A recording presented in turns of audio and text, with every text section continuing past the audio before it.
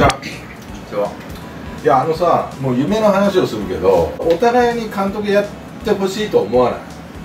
あ立浪には思いますよたくさんもあっちゃんにはちょっと監督やってほしいなって思う節はない？あんま向いてないのかなって。ボソッと。やっぱやってほしいよな。そうですね。もちろんもちろん。やってほしいしそれはもう10年遊んでますからね。早いな。あ呼ぶでしょこれはねやっぱりね。ヘッドコーチ。うんまあプロもしましたしね阪神でね。まあ意外と監督を立てるタイプだよね。従順というか。それはまあ普通のことなんですけどね。いやでもそれが野野球選手ってできない人多いじゃない。でも意外と従順だよね。何でも言うかなと思ったら。まあ、言わなきゃいけないことと言っちゃいけないことですよね。であと気を使わなきゃいけないんだけどごますっちゃいけないというところさえ間違いなかったら大丈夫です達也やったらどんな監督なんですよ友達から本当の親友から見て。それを見てみたいですね。うん逆にね。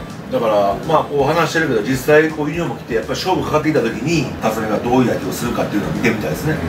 俺も見てみたいわ。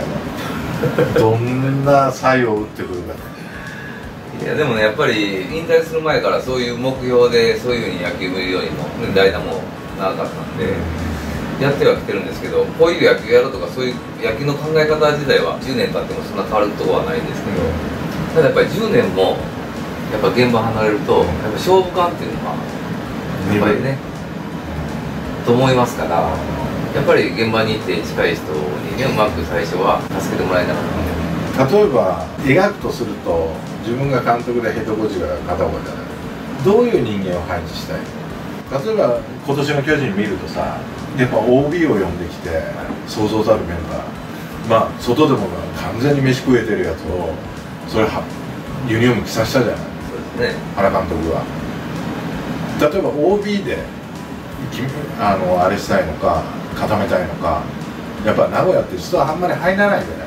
いやでも OB だけではいけないと思うんで、まあここが入るよね。バランスですよね。うあとやっぱり自分野手出身なんで、一番大事なところピッチャーですよね、ピッチャーをある程度アクセル任せれる。ん例えばめぼしいのはこれっていうのを決めてんの？もうそれは。野村？それは言いませんよ。いや言えない。かそれは言いませんよ。言えない。いや PL で固めんのかな？これも面白いなと思って。まあ、いずれにしてもねうんいろんなタイミングもありますし、まあ、ただでも解説しながら一応采配取りながらね。自分の頭の中で、ねこれはあの辞めて星野さんに日テレで一緒に解説させてもらった時に初めにもう辞めてすぐの時に「お前は自分が監督のつもりで試合見て采配しとけ」って。うん。これは言われましたね。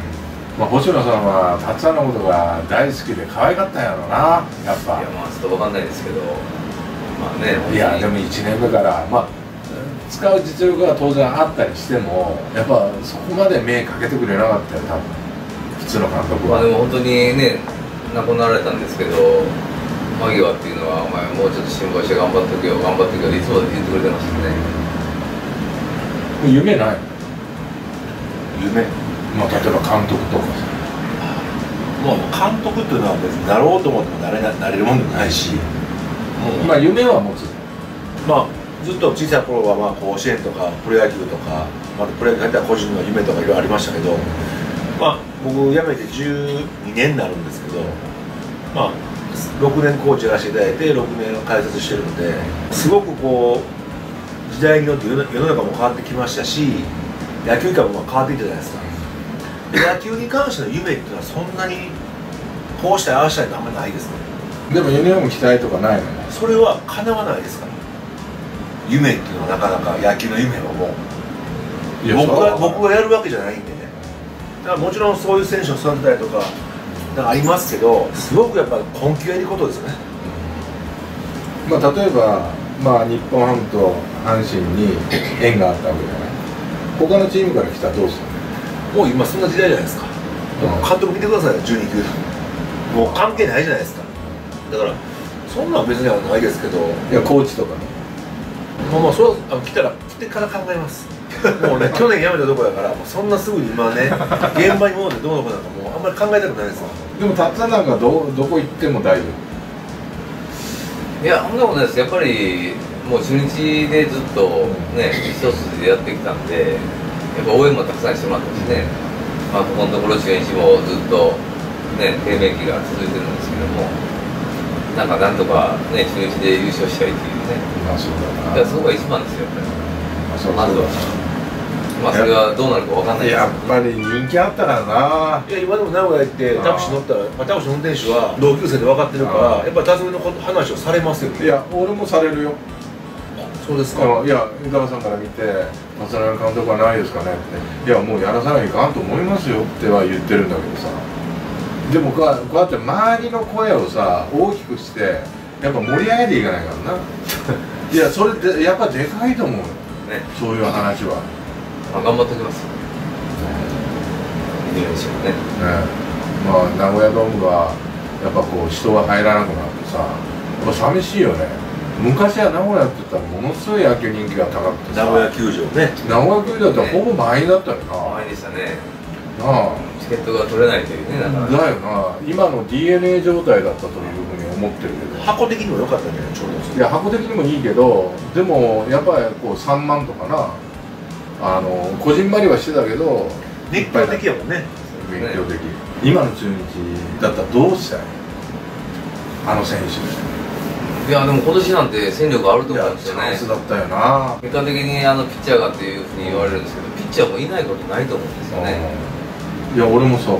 なんか後ろの方になんかこだわりを持って最初使ったのが失敗したっていう。そうですね。そんな感じがするけど。まああとやっぱりなかなかそのいるメンバーで決めないといけなかったその勝ちパターンと負けパターンのね。それがやっぱりまあここのところようやくちょっと決まってきたんですけど決めれなかったんで。監督目線で見てるよねちゃんとね。いやいやいやまあそれはもう。まあドラゴンのゲーム見る機会も多いですからねで阪神はどう？やっぱ気になるでしょ？もちろんあの大阪にいますから阪神戦ばっかりや見ますからね。だからまあまあ今回も、まあ、鳥谷がああいうふうになりましたけど選手はもちろん頑張らなきゃいけないんですけど、まあ、もうちょっとあの会社もビジョンとかプランとかねそういうことを考えてやらなきゃいけないでしょうね。でもああっちゃんはこの動画を見てるはい。視聴者は、はい。あこの人は解説の方がいいなと思ったかもわからない。どっちでもいいんですけど。お前なんか投げやりになってるよ。こいつと電話してるとさ切りたくなったってすぐ分かんない。だんだんもう時間だけいいからね。いやもうテンション下がってくるもんな分かりやすいこと分かりやすい。いや分かりにくいよりいいでしょ。分かりやすすぎるわほんまに。もうちょっと頑張って。梅高さんはもういいのがいいんですか？いや俺なんか YouTube がいいな。あうん、なんかすごく楽しいしいやこうやって素で話をができるじゃん。だそうやってみんながあのまあたっつぁんの普段の姿っていうのも見てくれてるし。あっちゃんがこうやって「お前解説やってる時とこの時とは全く違うもんね。解説やってるクソ真面目に喋ってる。いやそれはやっぱそうやってしゃべらない。いやそりゃそうやけ失礼でしょ？どそうやけど、はい。ちょっと変えればめちゃくちゃ人気解説者になるよ。でもでもやっぱ去年ねまでユニフォーム着ててやっぱ最下位になってるんでそこはやっぱりなんか僕もやっぱりそんなに切り替えてはなかなか話せないですね。じゃあ来年から切り替える。それはもうもう切り替えるから来年からかどうか分かりませんけど徐々にね徐々にやっていきます。なかなかうんって言わない男だからいやいやそれはなかなかね。まあただあの野球やってるからこそあの今年50ですけど、このプロ野球界にもねいろいろやらせていただいてこう野球プロ野球の渦の中にいるってことは大事じゃないです。かやっぱ野球に関してはやっぱ真剣にね見とかなきゃいけないしやっぱり選手も苦しいし監督コーチも苦しいし。苦しいな、はいでもそのアマチュアのさ資格を取るっていう LINE を俺に送ってきたけど、はい。今年取るの？豊さんが取ろうか言ったからです一緒に。なんで？取ろうか言ってたつは取ってんの？取ってないです。取る気はないの？今のところないですね。3人で行くかじゃいやまあまああのまあまあ機会があればねな。持っとけば。あ持っとけば指導もできるしね。で迷惑かからないじゃないですか。逆にあまあまあア確かに。マチュアに迷惑かかかるといけないと。話しただけで迷惑かかる時あるからね。まあまあじゃあもうたっつぁんの監督俺は見本当に心底見たいと思ってるだから頑張って、はい。まあ頑張ってってね、はい。自分で頑張ることじゃないけども、なあ2人でも応援していこうよ。僕も頑張ります。でお前も何？